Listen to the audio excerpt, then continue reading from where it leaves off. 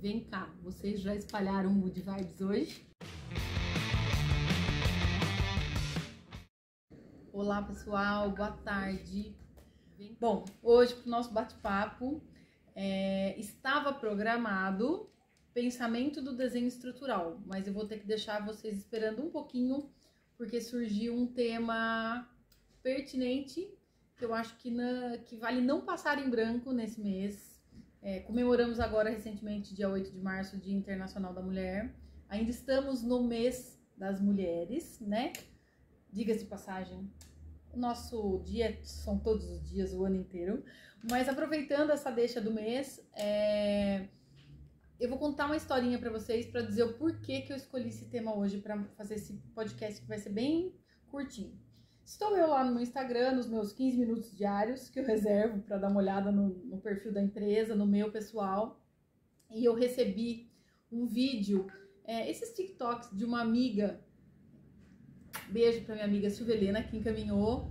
É, um, onde a menina cantava uma musiquinha e tinha uma pergunta assim: é, quando falam que a mulher não pode tocar obra ou ela não pode fazer obra, e toca uma musiquinha, ela faz. Do tipo, não tô nem aí, fala com a minha mão, né? É óbvio que a gente tem capacidade para isso. Ela me mandou e eu achei muito engraçado.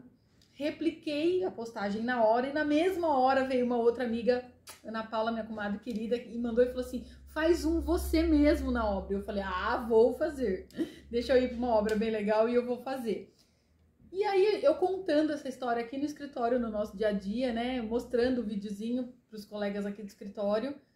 E aí eles falaram: por que não fazer um podcast falando disso? Esse universo tão masculino que é a construção civil, né? E do que nós, arquitetas, mulheres, passamos quando chegamos no canteiro de obra, ou quando somos questionadas muitas vezes por outros homens é, que dizem não sermos competentes para tocar obra sozinha, né? E eu tenho ouvido muito isso nos últimos tempos e acho que é válido falar aqui. É, primeiro eu levantei um dado para passar para vocês, depois vai vir aqui a, a referenciazinha. Uh, a engenharia civil hoje ela tem 80 contra 20% de mulheres no campo atuando e estudando, tá mais ou menos, é 86, vamos falar 80 e 20, então 80% de homem para 20% de mulher. Enquanto que na arquitetura a gente tem um pouquinho a inversão desse número. Aí a gente já tem lá 60% de mulher para 40% de homens.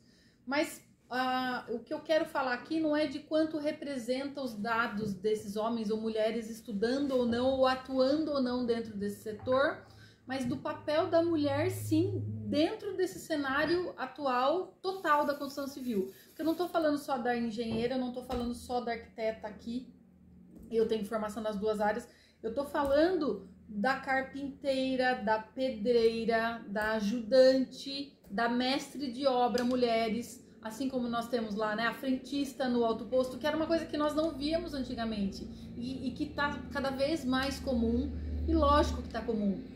Somos dedicadas, somos esforçadas, somos detalhistas, somos organizadas, temos a capacidade de gerenciar 10, 20 coisas ao mesmo tempo. Aqui no escritório a gente brinca, eu tenho um arquiteto homem aqui, que a gente brinca que ele pode fazer só uma coisa cada vez e a gente pode fazer três. Então, assim, é meio que um meme também, mas a gente sabe que a mulher, eu acho que por intuição, instintivamente, até maternalmente, a gente tem essa capacidade de administrar muitas coisas ao mesmo tempo. Fazemos jornadas duplas, triplas no trabalho, na casa, no escritório, no estudo. Eu mesma já fiz, eu, eu fiz faculdade com, eu tenho hoje um menino de 20 anos que eu fiz faculdade com ele pequenininho. Ele nasceu dentro da faculdade e eu nunca parei o curso, nem por um semestre sequer consegui dar conta. Então, assim, somos capazes, temos capacidade muito além da nossa imaginação.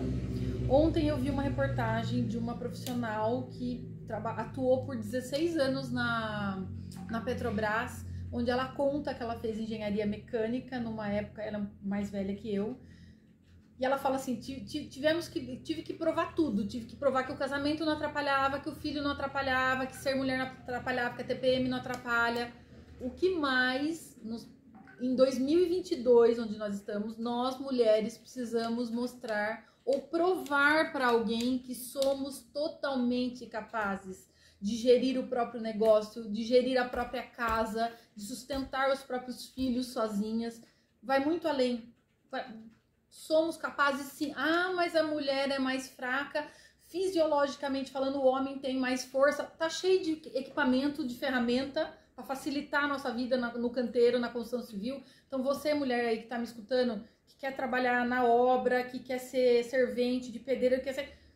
Você pode tudo. E eu vim fazer esse podcast hoje só para falar. Falar que eu já enfrentei muito preconceito também. Eu já tive cliente que já marcou visita comigo para fazer inspeção ou para fazer medição em obra e eu chegar lá e perceber que o cara só queria me dar uma cantada. É, é ridículo, né?